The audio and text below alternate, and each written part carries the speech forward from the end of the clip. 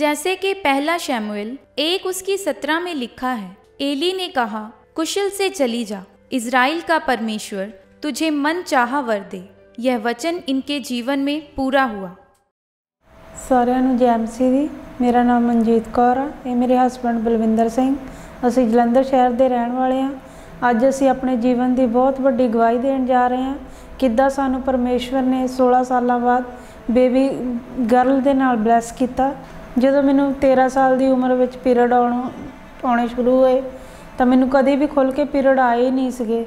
ਕਦੀ 2 ਮਹੀਨੇ ਤੋਂ, ਕਦੀ 3 ਮਹੀਨਿਆਂ ਤੋਂ ਹਲਕਾ ਜਿਹਾ ਦਾਗ ਹੀ ਲੱਗਦਾ ਸੀਗਾ। ਇਹ ਗੱਲ ਮੈਂ ਕਦੇ ਕਿਸੇ ਨਾਲ ਸ਼ੇਅਰ ਨਹੀਂ ਸੀ ਕੀਤੀ, ਨਾ ਕਦੀ ਆਪਣੇ ਘਰਦਿਆਂ ਨਾਲ, ਨਾ ਕਦੀ ਆਪਣੀਆਂ ਫਰੈਂਡਾਂ ਨਾਲ, ਨਾ ਕਦੀ ਆਪਣੀਆਂ ਭੈਣਾਂ ਨਾਲ। ਇਦਾਂ ਹੀ ਟਾਈਮ ਲੰਘਦਾ ਗਿਆ, ਫਿਰ 2005 ਦੇ ਵਿੱਚ ਮੇਰੇ ਘਰਦਿਆਂ ਨੇ ਮੇਰੀ ਮੈਰਿਜ ਕਰਤੀ। ਮੈਰਿਜ ਤੋਂ ਬਾਅਦ ਵੀ ਮੈਨੂੰ ਇਹ ਪ੍ਰੋਬਲਮ ਰਹੀ। ਮੈਨੂੰ ਮੈਸੇਜ ਨਹੀਂ ਆਉਂਦੇ ਰਹੇ। ਮੈਰਿਜ ਤੋਂ ਬਾਅਦ ਮੈਂ ਆਪਣੇ ਹਸਬੰਡ ਨੂੰ ਦੱਸਿਆ ਕਿ ਮੈਨੂੰ ਪੀਰੀਅਡ ਨਹੀਂ ਆਉਂਦੇ। ਤੇ ਵਿਆਹ ਦੇ ਪਹਿਲੇ ਹੀ ਦਿਨ ਮੇਰੇ ਘਰ ਵਾਲੇ ਦੱਸਤਾ ਕਿ ਮੈਨੂੰ ਪੀੜੇ ਨਹੀਂ ਆਉਂਦੇ ਹੈਗੇ। ਤੇ ਮੈਂ ਉਹਨੂੰ ਕਿਹਾ ਵੀ ਚਲ ਕੋਈ ਗੱਲ ਨਹੀਂ ਨਹੀਂ ਆਉਂਦੇ ਤੇ ਕੋਈ ਗੱਲ ਨਹੀਂ ਆਪਾਂ ਦਵਾਈ ਲੈ ਕੇ ਤੁਹਾਨੂੰ ਦਵਾਂਗਾ। ਫਿਰ ਅਸੀਂ ਪਿੰਡ ਵਾਲੇ ਡਾਕਟਰ ਕੋਲ ਗਏ ਉੱਥੋਂ ਅਸੀਂ ਦਵਾਈ ਲਈ। ਉਹਨਾਂ ਨੇ ਮੈਨੂੰ ਦਵਾਈ ਦਿੱਤੀ ਪੀਰੀਅਡ ਆਉਣ ਦੀ ਫਿਰ ਦਵਾਈ ਖਾਣ ਦੇ ਬਾਵਜੂਦ ਵੀ ਮੈਨੂੰ ਪੀਰੀਅਡ ਨਹੀਂ ਆਏ। ਤੇ ਫਿਰ ਸਾਨੂੰ ਕਿਸੇ ਨੇ ਕਿਹਾ ਵੀ ਜਿੱਦਾਂ ਮਤਲਬ ਮਕੀਰੀਆਂ ਡਾਕਟਰ ਹੈਗੇ ਵੱਡੇ ਹਸਪਤਾਲ ਉੱਥੇ ਜਾ ਕੇ ਆਪਾਂ ਗਏ ਉੱਥੇ। ਉੱਥੇ ਵੀ ਮੈਂ 3-4 ਮਹੀਨੇ ਦਵਾਈ ਖਾਧੀ। ਫਿਰ ਵੀ ਮੈਨੂੰ ਜਿੱਦਾਂ ਪੀਰੀਅਡ ਨਹੀਂ ਆਏ। ਮਕੇਰੀਆਂ ਦੇ ਇੱਕ ਹੋਰ ਹਸਪੀਟਲ ਜਿੱਦਾਂ ਲੇਡੀ ਡਾਕਟਰ ਵਧੀਆ ਲੇਡੀ ਡਾਕਟਰ ਸੀ ਜਿੱਦਾਂ। ਉਹਨਾਂ ਕੋਲੋਂ ਗਏ ਤਾਂ ਉਹ ਕਹਿੰਦੇ ਸਕੈਨਿੰਗ ਕਰਾਓ। ਸਕੈਨਿੰਗ ਕਰਾਉਣ ਦੇ ਦੌਰਾਨ ਉਹ ਕਹਿੰਦੇ ਵੀ ਜਿੱਦਾਂ ਬੱਚੇ ਦਾ ਨਿਮਰ ਇੱਕ ਝਿੱਲੀ ਜੀ ਜੰਮੀ ਹੈ ਜਿੱਦਾਂ, ਵੀ ਉਹ ਦਵਾਈਆਂ ਖਾਣਾ ਠੀਕ ਹੋ ਜਾਏਗੀ। ਤੇ ਮੁੜ ਕੇ ਇਹ ਵੀ ਚਲੋ ਮਹੀਨਾ ਠੀਕ ਹੋਇਆ 3 ਸਾਲ ਦੇ ਜਿੱਦਾਂ ਮਹੀਨਾ ਆਉਣ ਦੀ ਹੀ ਦਵਾਈ ਖਾਂਦੇ ਰਹੇ ਆਪਾਂ ਵੀ ਮਹੀਨਾ ਸਹੀ ਹੋ ਜਾਵੇ ਜਿੱਦਾਂ ਮੰਥਲੀ ਤੇ ਉਹ ਵੀ ਨਹੀਂ ਠੀਕ ਹੋਇਆ ਜਿੱਦਾਂ ਮੁੜ ਕੇ ਫੇ ਆਈਗਾ ਵੀ ਟਾਈਮ ਜ਼ਿਆਦਾ ਲੰਘੀ ਜਾਣ ਦਾ ਵੀ ਚਲੋ ਹੁਣ ਬੇਬੀ ਦੀ ਦਵਾਈ ਖਾ ਲੈਂਦੇ ਵੀ ਟਾਈਮ ਜ਼ਿਆਦਾ ਹੋ ਰਿਹਾ, ਉਮਰ ਵੀ ਲੰਘੀ ਜਾਣ ਡਈ। ਜਦੋਂ ਹਸਪੀਟਲ ਦਾ ਵੀ ਆਰਾਮ ਨਹੀਂ ਆਇਆ ਤੇ ਮੈਂ ਕਿਹਾ ਇਹ ਤੇ ਹੋ- ਦਵਾਈਆਂ ਵਾਲਾ ਕੰਮ ਨਹੀਂ ਹੈਗਾ ਜਗਾਵਾਂ ਤੇ ਜਾ ਕੇ ਦੇਖ ਲੈਂਦੇ ਆ ਤਿੰਨ ਸਾਲ ਇੱਕ ਜਗ੍ਹਾ ਸਾਡੇ ਪਿੰਡ ਦੇ, ਉੱਥੇ ਤਿੰਨ ਸਾਲ ਲਗਾਤਾਰ ਜਾਂਦੇ ਰਹੇ। ਇੱਦਾਂ ਟਾਈਮ ਲੰਘੀ ਗਿਆ, ਬਹੁਤ ਟਾਈਮ ਮੇਰੇ ਕੋਲ ਜਿੰਨਾ ਪੈਸਾ ਸੀਗਾ, ਸਾਰਾ ਮੈਂ ਤਾਂ ਲਾਤਾ 40 50 ਹਜ਼ਾਰ ਮੇਰੇ ਬੈਂਕ ਸੀ ਉਹ ਵੀ ਸਾਰਾ ਲਾਤਾ ਇੱਥੇ। ਤੇ ਮੈਂ ਕੀ ਕਰਦਾ ਨਾ, ਗਰੀਬੀ ਇੰਨੀ ਸੀ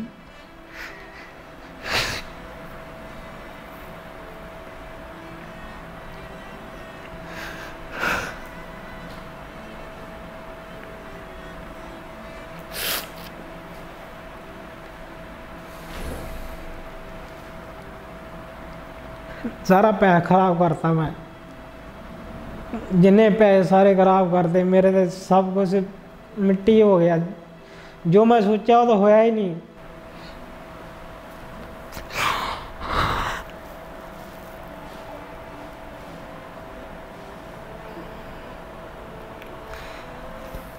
ਲੋਕਾਂ ਨੇ ਨਿਆਣੇ ਦੇਖਣੇ ਲੋਕਾਂ ਨੇ ਨਿਆਣੇ ਕਹਿਣਾ ਸਾ- ਆਈ ਕਹਿਣਾ, ਸਾਡੇ ਪਤਾ ਨਹੀਂ ਕਦੋਂ ਹੋਣੇ ਨਿਆਣੇ।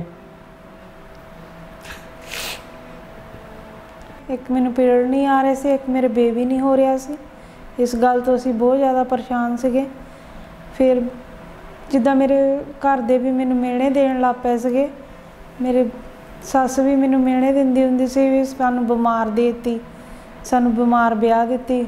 ਬੜਾ ਰੋਂਦੀ ਹੁੰਦੀ ਸੀ, ਕਈ ਵਾਰੀ ਮੈਂ ਰਾਤ ਨੂੰ ਉੱਠ ਉੱਠ ਕੇ ਰੋਂਦੀ ਹੁੰਦੀ ਸੀ। ਬੜਾ ਦੁੱਖ ਲੱਗਦਾ ਹੁੰਦਾ ਸੀ ਦਿਲ ਨੂੰ। ਦਾ ਲੋਕੀ ਮੇਰੇ ਆਪਣੇ ਭੈਣ ਭਰਾ ਮੈਨੂੰ ਮਿਹਣੇ ਮਾਰਦੇ ਹੁੰਦੇ ਸੀਗੇ। ਆਪਣੇ ਨਿਆਣੇ ਨਹੀਂ ਮੇਰੇ ਕੋਲ ਆਉਣ ਦਿੰਦੇ ਹੁੰਦੇ ਸੀ। ਕਹਿੰਦੇ ਹੁੰਦੇ ਸੀ ਕਿ ਇਹ ਕੁਝ ਕਰ ਦੂਗੀ ਸਾਡੇ ਨਿਆਣਿਆਂ ਨੂੰ। ਜਿਹੜੀਆਂ ਮੇਰੀਆਂ ਐਕਸਪਾਇਰ ਦਵਾਈਆਂ ਪਈਆਂ ਹੁੰਦੀਆਂ ਸੀ, ਮੈਂ ਚੱਕ ਕੇ ਖਾ ਲੈਂਦੀ ਹੁੰਦੀ ਸੀਗੀ ਕਿ ਕਿੱਦਾਂ ਨਾ ਕਿੱਦਾਂ ਮੇਰੀ ਜ਼ਿੰਦਗੀ ਖਤਮ ਹੋ ਜਾਵੇ। ਮੈਂ ਇਸ ਜ਼ਿੰਦਗੀ ਤੋਂ ਛੁਟਕਾਰਾ ਪਾ ਲਵਾਂ ਕਿ ਮੇਰੇ ਤਾਂ ਬੇਬੀ ਨਹੀਂ ਹੋਣਾ। ਮੈਂ ਇਹ ਸੁੱਖ ਤੋਂ ਵਾਂਝੀ ਰਹਿ ਜਾਣਾ। ਇਹ ਸੋਚ ਸੋਚ ਕੇ ਮੈਂ ਬੜਾ ਪਰੇਸ਼ਾਨ ਹੁੰਦੀ ਹੁੰਦੀ ਸੀਗੀ। ਤੇ ਰਾਤ ਨੂੰ ਵੀ ਕਈ ਵਾਰੀ ਇਦਾਂ ਹੀ ਇਹਨੇ ਆਪਣੇ ਵਾਲੇ ਮੂੰਹ ਕਰਕੇ ਰੋਣ ਲੱਗ ਪੈਣਾ, ਮੈਂ ਇੱਧਰ ਨੂੰ ਮੂੰਹ ਕਰਕੇ ਰੋਣ ਲੱਗ ਪੈਣਾ, ਇੱਧਰ ਰੋਈ ਜਾਣਾ ਰੋਈ ਜਾਣਾ, ਕਦੀ ਕਹਣਾ ਇਹਨੇ ਮੈਨੂੰ ਦਿਲਾਸਾ ਦੇਈ ਜਾਣਾ, ਤੇ ਮੈਂ ਇਹਨੂੰ ਦੇਈ ਜਾਣਾ, ਤੇ ਰੋਣਾ ਜ਼ਰੂਰ ਦੋਨਾਂ ਰੱਜ ਕੇ ਜਿੱਦਾਂ ਕਿ। ਤੇ ਮੁੜ ਕੇ ਇਦਾਂ ਹੀ ਕਈ ਵਾਰੀ ਕਿ ਲੰਘ ਜਾਣੀ, ਰਾਤ ਰਾਤ ਲੰਘ ਜਾਣੀ, ਪੂਰੀ ਪੂਰੀ ਰਾਤ ਨੂੰ ਲੰਘ ਜਾਣੀ ਇਦਾਂ ਹੀ। ਬੱਚਾ ਨਾ ਹੋਣ ਦੀ ਵਜ੍ਹਾ ਕਰਕੇ ਮੈਂ ਪੂਰੀ ਤਰ੍ਹਾਂ ਟੁੱਟ ਚੁੱਕੀ ਸੀਗੀ। ਮੈਂ ਕਿਤੇ ਵੀ ਨਹੀਂ ਜਾਂਦੀ ਹੁੰਦੀ ਸੀ, ਆਪਣੇ ਕਮਰੇ 'ਚ ਹੀ ਬੰਦ ਰਹਿੰਦੀ ਹੁੰਦੀ ਸੀ ਹਮੇਸ਼ਾ। ਕਿ ਮੇਰੇ ਹਸਬੰਡ ਦੀ ਉਮਰ 42 ਸਾਲ ਦੀ ਆ, ਮੇਰੀ ਖੁਦ ਦੀ ਉਮਰ 33 ਸਾਲ ਆ। ਜਿੱਦਾਂ ਡਾਕਟਰ ਵੀ ਕਹਿੰਦੇ ਸੀਗੇ ਕਿ 30 ਸਾਲ ਦੀ ਉਮਰ ਤੋਂ ਬਾਅਦ 'ਚ ਤੁਹਾਨੂੰ ਬੇਬੀ ਨਹੀਂ ਹੋ ਸਕਦਾ, ਕਿਉਂਕਿ ਤੁਹਾਨੂੰ ਪੀਰੀਅਡ ਆਉਂਦੇ ਨਹੀਂ ਆ। ਫਿਰ 30 ਸਾਲ ਦੀ ਜਦੋਂ ਉਮਰ ਹੋਊਗੀ ਤੁਹਾਨੂੰ ਬਿਲਕੁਲ ਵੀ ਇਦਾਂ ਬੇਬੀ ਹੋ ਹੀ ਨਹੀਂ ਸਕਦਾ ਕਦੀ ਵੀ। ਫਿਰ ਮੈਂ ਬੜੀ ਪਰੇਸ਼ਾਨ ਰਹਿਣ ਲੱਗ ਪਈ ਇਦਾਂ ਵੀ ਜੇ ਮੈਨੂੰ ਪੀਰੀਅਡ ਨਹੀਂ ਆਉਂਦੇ 30 ਸਾਲ ਦੀ ਉਮਰ ਵੀ ਹੋ ਗਈ ਆ, ਤਾਂ ਫਿਰ ਮੈਂ ਕਿੱਦਾਂ ਆਪਣੀ ਜ਼ਿੰਦਗੀ ਨੂੰ ਕੱਟੂੰਗੀ? ਕਿਹਦੇ ਸਹਾਰੇ ਕੱਟੂੰਗੀ? ਮੈਂ ਇਦਾਂ ਬੜੀ ਪਰੇਸ਼ਾਨ ਹੁੰਦੀ ਸੀਗੀ, ਬੜਾ ਰੋਂਦੀ ਹੁੰਦੀ ਸੀਗੀ ਮੈਂ ਇਹ ਗੱਲ ਤੋਂ।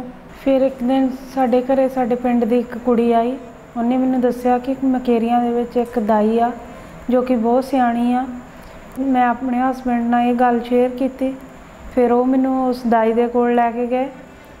ਉਸ ਦਾਈ ਨੇ ਸਾਨੂੰ ਦੱਸਿਆ ਕਿ ਮੇਰੇ ਬੱਚੇਦਾਨੀ ਦਾ ਮੂੰਹ ਬਹੁਤ ਛੋਟਾ ਆ, ਜਿਸ ਕਾਰਨ ਮੈਨੂੰ ਮੈਸੇਜ ਨਹੀਂ ਆਉਂਦੇ। ਫਿਰ ਉਹਨਾਂ ਨੇ ਮੇਰੇ ਕਾਟਨ ਦੇ ਵਿੱਚ ਦਵਾਈ ਲਾ ਕੇ ਉਹਨਾਂ ਨੇ ਮੇਰੇ ਗੁਪਤ ਅੰਗ ਦੇ ਦੁਆਰਾ ਬੱਚੇਦਾਨੀ ਦੇ ਵਿੱਚ ਰੱਖਿਆ। ਜਿ- ਜਿੱਦਾਂ ਜਿੱਦਾਂ ਉਹ ਕਾਟਨ ਫੁੱਲਦਾ ਸੀ, ਉਦਾਂ ਉਦਾਂ ਮੇਰੇ ਬੱਚੇਦਾਨੀ ਦਾ ਮੂੰਹ ਖੁੱਲਦਾ ਸੀਗਾ। ਇਸ ਨਾਲ ਮੈਨੂੰ ਬਹੁਤ ਜ਼ਿਆਦਾ ਪੇਨ ਹੁੰਦਾ ਸੀਗਾ। ਮੇਰੇ ਪਿੱਠ ਤੋਂ ਲੈ ਕੇ ਪੈਰਾਂ ਤੱਕ ਮੇਰੇ ਜਿੱਦਾਂ ਬਹੁਤ ਜ਼ਿਆਦਾ ਪੇਨ ਹੁੰਦਾ ਸੀਗਾ। ਤਾਂ ਵੀ ਫਿਰ ਇਹ ਟ੍ਰੀਟਮੈਂਟ ਲੈਣ ਦੇ ਬਾਵਜੂਦ ਵੀ ਨਾ ਤਾਂ ਮੈਨੂੰ ਪੀਰੀਅਡ ਆਏ ਨਾ ਮੇਰੇ ਬੱਚਾ ਹੋਇਆ। ਸਾਡੇ ਵਿਆਹ ਨੂੰ 16 ਸਾਲ ਹੋ ਗਏ। 16 ਸਾਲਾਂ ਵਿੱਚ ਅਸੀਂ ਜਦੋਂ ਵੀ ਚੈੱਕ ਕਰਨਾ, ਜਿੱਦਾਂ ਰਿਪੋਰਟ ਚੈੱਕ ਕਰਨੀ ਨੈਗੇਟਿਵ ਆਣੀ ਨੈਗੇਟਿਵ ਆਣੀ ਹਰ ਵਾਰ ਨੈਗੇਟਿਵ ਆਣੀ ਜਿੱਦਾਂ। ਤੇ ਇਦਾਂ ਹੀ ਅਸੀਂ ਜ਼ਿੰਦਗੀ 'ਚ ਬੜੇ ਨਿਰਾਸ਼ ਹੋਣਾ। ਕਦੀ ਵੀ ਮੇਰੀ ਘਰ ਵਾਲੀ ਜਿੱਦਾਂ ਪ੍ਰੈਗਨੈਂਟ ਪ੍ਰੈਗਨੈਂਟ ਹੋਈ ਵੀ ਨਹੀਂ। ਕਦੀ ਵੀ ਨਹੀਂ ਹੋਈ। ਉਸ ਤੋਂ ਬਾਅਦ ਅਸੀਂ ਆਸ ਛੱਡ ਦਿੱਤੀ ਸੀ ਜਿੱਦਾਂ ਵੀ ਬਸ ਵੀ ਹੁਣ ਨਹੀਂ ਗੱਲ ਬਣਨੀ ਵੀ ਕਿਉਂ? ਉਮਰ ਲੰਘ ਗਈ ਹੈ ਹੁਣ ਤੇ 42 ਸਾਲ ਮੇਰੀ ਉਮਰ ਹੋ ਗਈ 33 ਸਾਲ ਮੇਰੇ ਘਰ ਵਾਲੇ ਦੀ ਉਮਰ ਹੋ ਗਈ। ਤੇ ਸਾਡੇ ਪਿੰਡ ਦਾ ਇੱਕ ਡਾਕਟਰ ਕਹਿੰਦਾ ਹੁੰਦਾ ਵੀ ਜੇ 30 ਸਾਲ ਦੀ ਜਿੱਦਾਂ ਮਤਲਬ ਜਨਾਨੀ ਹੋ ਜੇ ਤੇ ਉਹਦਾ ਜਿੱਦਾਂ ਗਰਭ ਜਿਹੜਾ ਓਵਰੇਜ ਖਰਾਬ ਹੋ ਜਾਂਦੀ, ਮਤਲਬ ਉਹ ਮੈਂ ਮੈਨਸ ਜਿੱਦਾਂ ਖਤਮ ਹੋਣੀ ਜਾਂਦੀ ਫਿਰ ਬੱਚੇ ਹੋਣ ਦੀ ਆਸ ਖਤਮ ਹੋ ਜਾਂਦੀ ਹੈ। ਤੇ ਇਹਦੀ ਉਮਰ ਵਧੀ ਜਾਣ ਡਈ ਸੀ, ਮੈਂ ਕਿਹਾ ਵੀ ਇਹ ਨਹੀਂ ਹੁਣ ਗੱਲ ਬਣਨੀ। ਆਈਵੀਐਫ ਕਰਾਉਣ ਦੇ ਅੱਗੇ ਸਾਡੇ ਕੋਲ ਪੈਸੇ ਨਹੀਂ ਵੀ ਜਿਹਦੇ ਚਲ ਜੇ ਬੰਦੇ ਕੋਲ ਪੈਸੇ ਹੋਣ ਤਾਂ ਬੰਦਾ ਆਈਵੀਐਫ ਵੀ ਕਰਾ ਲੈਂਦਾ। ਸਾਡੇ ਕੋਲ ਤਾਂ ਪੈਸਾ ਤੇ ਵੀ ਕੋਈ ਆਈਵੀਐਫ ਕਿੱਥੋਂ ਕਰਾਉਣਾ ਹੈਗਾ? ਇਹਨਾਂ 16 ਸਾਲਾਂ ਵਿੱਚ ਮੈਂ ਆਪਣੇ ਘਰ ਨੂੰ ਬੜੇ ਡਾਕਟਰਾਂ ਕੋਲ ਲੈ ਗਿਆ, ਬੜੀਆਂ ਜਗ੍ਹਾਵਾਂ ਤੇ ਲੈ ਗਿਆ।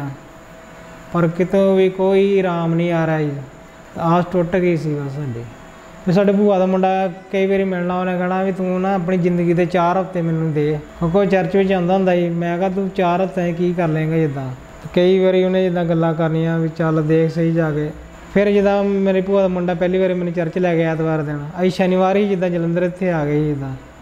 ਰਾਤ ਨੂੰ ਮੈਨੂੰ ਬੁਖਾਰ ਚੜਿਆ ਵੀ ਜਿੱਦਾਂ ਮਤਲਬ ਬਹੁਤ ਜ਼ਿਆਦਾ ਵੀ ਜਿੱਦਾਂ ਮਤਲਬ ਮੇਰਾ ਮਨ ਕਰੇ ਨਾ ਵੀ ਨਾ ਜਾਣ ਨੂੰ ਵੀ ਮੈਂ ਚਰਚ ਜਾਣਾ ਨਹੀਂ ਹੈਗਾ। ਹੌਲੀ ਕਰਦਾ ਕਰਦਾ ਮੈਂ ਚਰਚ ਆਇਆ। ਮੈਂ ਪਿੱਛੇ ਬਹਿ ਗਿਆ ਸਾਰਿਆਂ ਨਾਲ। ਤੇ ਉੱਥੇ ਜੇ ਇੱਕ ਸੌਂਗ ਚੱਲਦਾ ਸੀ, ਟੁੱਟ ਜਾਣੇ ਟੁੱਟ ਜਾਣੇ, ਰੋਗ ਪੁਰਾਣੇ ਸਾਰੇ ਮੁੱਕ ਜਾਣੇ ਦਾ ਗਾਣਾ ਸੌਂਗ ਚੱਲਣ ਦਾ ਸੀ। ਚਰਚ ਆਣਾ ਚਾਲੂ ਕੀਤਾ ਤੇ ਗਵਾਈਆਂ ਸੁਣੀਆਂ। ਕਿਸੇ ਦੇ 20 ਸਾਲ ਬਾਅਦ ਨਿਆਣਾ ਹੋ ਜਾਣਾ, ਕਿਸੇ ਦੇ ਜਲਦ 8 ਸਾਲ ਬਾਅਦ ਬੜੀ ਦੇਰ ਦੇਰ ਬਾਅਦ ਨਿਆਣੇ ਹੋਣੇ। ਅਸੀਂ ਕਹਣਾ, ਚਲੋ ਵਧੀਆ ਪਰਮੇਸ਼ਰ ਸਾਡੀ ਵੀ ਸੁਣੇਗਾ।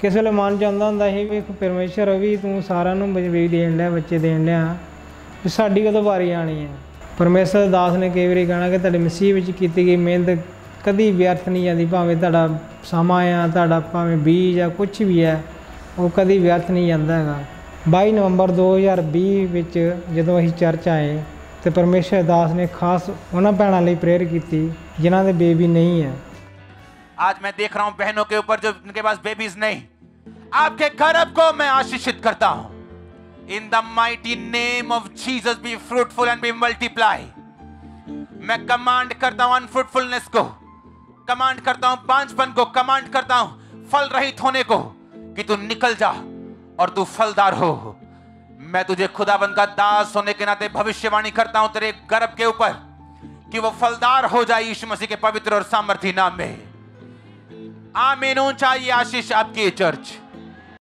ਅਸੀਂ ਉਸ ਪ੍ਰੇਅਰ ਨੂੰ ਬੜੇ ਵਿਸ਼ਵਾਸ ਨਾਲ ਗ੍ਰਹਿਣ ਕੀਤਾ ਅਤੇ ਜਦੋਂ ਅਸੀਂ ਘਰ ਗਏ ਤਾਂ ਮੇਰੀ ਘਰ ਵਾਲੀ ਦੇ ਗੁਪਤ ਅੰਗ ਵਿੱਚੋਂ ਦੋ ਰਸੌਲੀਆਂ ਨਿਕਲੀਆਂ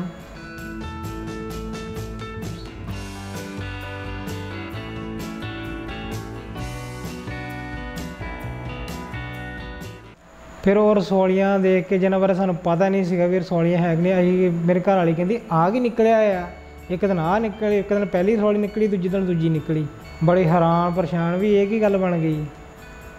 ਤੇ ਜਦੋਂ ਨਾ ਤਿੰਨ ਕੁ ਮਹੀਨੇ ਐਦਾਂ ਨੰਗੇ ਤੇ ਮੇਰੇ ਘਰ ਵਾਲੇ ਦਰਦ ਪੈਣੀ ਚਾਲੂ ਹੋ ਗਈ। ਤੇ ਮੈਨੂੰ ਘਰ ਵਾਲੀ ਕਹਿੰਦੀ, ਮੇਰੇ ਦਰਦ ਪੈਂਦੀ ਹੈ ਤੇ ਤੇ ਮੈਂ ਕਿਹਾ ਵੀ ਘਰ ਵਾਲੀ ਨੂੰ, ਮੈਂ ਕਿਹਾ ਵੀ ਇਦਾਂ ਮਤਲਬ ਵੀ ਚੈੱਕ ਕਰਾ ਲਈਏ ਤੇ ਮੈਂ ਘਰ ਵਾਲੀ ਕਹਿੰਦੀ ਐਵੇਂ ਛੱਡੋ ਪਰੇ ਪੈਸੇ ਖਰਾਬ ਹੋਣੇ ਫਿਰ ਮੇਰੀ ਭਾਬੀ ਹੈ ਕਿ ਜਦੋਂ ਆਸ਼ਾ ਵਰਕਰ, ਮੈਂ ਉਹਨੂੰ ਕਿਹਾ ਵੀ ਭਾਬੀ ਵੀ ਜਿੱਦਾਂ ਟਾਈਮ ਹੋ ਗਿਆ, ਉਹਨੇ ਮੈਨੂੰ ਕਈ ਵਾਰੀ ਕਹਿਣਾ ਵੀ ਤੁਹਾਡੀ ਉਮਰ ਲੰਘੀ ਜਾਣ ਡਈ ਆ, ਵੀ ਤੁਸੀਂ ਆਈਵੀਐਫ ਕਰਾ ਲਓ। ਤੇ ਮੈਂ ਕਿਹਾ ਵੀ ਚੱਲ ਦੇਖੀ ਜੇ ਮੈਂ ਘਰ ਵਾਲੀ ਗੱਲ ਕੀਤੀ, ਮੈਂ ਕਿਹਾ ਵੀ ਮਨਜੀਤ ਆਪਾਂ ਨਾ ਆਈਵੀਐਫ ਕਰਾ ਲੈਂਦੇ ਆ, ਕਿਉਂਕਿ ਲੋਕੀ ਮਿਹਣੇ ਮਾਰਨ ਲੱਗ ਪਏ ਵੀ ਇੰਨਾ ਟਾਈਮ ਤੁਹਾਨੂੰ। ਤੇ ਚਲੋ ਦੋਨੇ ਜਣੇ ਚਲ ਗਏ ਤੇ ਇੱਥੇ ਜਲੰਧਰ ਇੱਕ ਹਸਪੀਟਲ ਹੈ ਤੇ ਉੱਥੇ ਡਾਕਟਰ ਕੋਲ ਸਲਾਹ ਦੇ ਡਾਕਟਰ ਨੇ ਕਿਹਾ ਵੀ ਆਪਾਂ ਮਤਲਬ ਆਈਵੀਐਫ ਕਰਾਉਣਾ ਆ। ਵੀ ਇਹਦੇ ਦਰਦ ਪੈਂਦੀ ਰਹਿੰਦੀ ਹੈ। ਉਹ ਡਾਕਟਰ ਕਹਿੰਦਾ ਵੀ ਇਹਦੇ ਪਹਿਲੇ ਚੈੱਕ ਤਾਂ ਕਰਾਂ ਵੀ ਦਰਦ ਕਿਉਂ ਪਈ ਜਾਣ ਡਈ ਇਹਦੇ ਵਾਰ-ਵਾਰ ਦੇਖੀਏ ਸਹੀ ਵੀ ਕੀ ਗੱਲ ਕੀ ਹੈਗੀ ਹੈ। ਉਹਨੇ ਪਹਿਲੇ ਬਲੈਕ ਐਂਡ ਵਾਈਟ ਸਕੈਨਿੰਗ ਕੀਤੀ ਤੇ ਇਹਨੇ ਬਲੈਕ ਐਂਡ ਸਕੈਨ ਕਰਕੇ ਇਹਨੇ ਕਿਹਾ ਵੀ, ਕਹਿੰਦਾ ਵੀ ਤੇਰੇ ਤੇ ਕਹਿੰਦਾ ਸਾਢੇ ਤਿੰਨ ਤਿੰਨ ਮਹੀਨੇ ਦਾ ਨਿਆਣਾ ਅੰਦਰ ਤੇ ਤੂੰ ਕਿਹੜੇ ਚੱਕਰਾਂ 'ਚ ਪੈ ਗਈ ਹੈ। ਫਿਰ ਮੇਰੇ ਘਰ ਵਾਲੀ ਕਹਿੰਦੀ, ਨਹੀਂ, ਕਹਿੰਦੀ, ਤੇਰੀ ਮਸ਼ੀਨਾਂ ਖਰਾਬ ਆ, ਕਹਿੰਦੀ, ਜਾ ਕੰਮ ਕਰ ਜਾ ਕੇ, ਕਹਿੰਦੀ ਤੂੰ। ਤੇ ਕਹਿੰਦਾ, ਨਹੀਂ ਆ ਦੇ ਕਹਿੰਦਾ ਤੂੰ, ਕਹਿੰਦੀ ਤੇਰੀ ਮਸ਼ੀਨਾਂ ਖਰਾਬ, ਕਹਿੰਦੀ ਮੈਂ ਕਹਿੰਦੀ ਜ਼ਿੰਦਗੀ 'ਚ ਕਦੀ ਕਹਿੰਦੀ ਇੱਕ ਵਾਰੀ ਵੀ ਕਹਿੰਦੀ, ਮੈਂ ਕਦੀ ਦੇਖਿਆ ਨਹੀਂ ਵੀ ਜਿੱਦਾਂ ਮਤਲਬ ਮੈਂ ਮਤਲਬ ਪ੍ਰੈਗਨੈਂਟ ਹੋਵਾਂ ਜਿੱਦਾਂ। ਉਹ ਕਹਿੰਦਾ, ਤੈਨੂੰ ਨਹੀਂ ਯਕੀਨ ਆਉਂਦਾ ਤਾਂ ਚੱਲ ਇੱਦਾਂ ਕਰਦੇ, ਇੱਕ ਕਲਰ ਸਕੈਨ ਕਰਕੇ ਦੇਖ ਲੈਂਦੇ ਆ ਵੀ ਤੈਨੂੰ ਯਕੀਨ ਦਾ ਦਵਾ ਆਉਂਦਾ। ਉਹਨੇ ਇਹਦਾ ਕਲਰ ਸਕੈਨ ਕੀਤੀ, ਫਿਰ ਉਹਨੇ ਦੱਸਿਆ ਡਾਕਟਰ ਨੇ ਆ ਦੇ ਕਹਿੰਦਾ ਸਾਢੇ ਤਿੰਨ ਮਹੀਨੇ ਦਾ ਬੱਚਾ ਤੇਰੇ ਅੰਦਰ। ਕਹਿੰਦਾ ਉਹਦਾ ਸਿਰ ਬਣਿਆ ਪਿਆ ਹੈ। ਇਹਦਾ ਹੱਥ ਪੈਰ ਸਾਰੇ ਬਣੇ ਪਏ ਵੀ ਤੂੰ ਆਈਪੀਐਫ ਕਿਉਂ ਕਰਾਉਣ ਲੱਗੀ? ਤੁਸੀਂ ਕਮਲੇ ਹੋ ਗਏ ਕਹਿੰਦੇ। 18 ਅਗਸਤ 2021 ਨੂੰ ਪਰਮੇਸ਼ਰ ਨੇ ਸਾਨੂੰ ਇੱਕ ਬੇਬੀ ਗੱਲ ਦੇ ਨਾਲ ਬਲੈਸ ਕੀਤਾ। ਹੁਣ ਮੇਰੀ ਬੇਬੀ ਗੱਲ ਜਿਹੜੀ ਆ 2 ਮਹੀਨੇ ਦੀ ਹੋ ਚੁੱਕੀ ਹੈ ਔਰ ਹੈਲਦੀ ਆ ਔਰ ਤੰਦਰੁਸਤ ਹੈ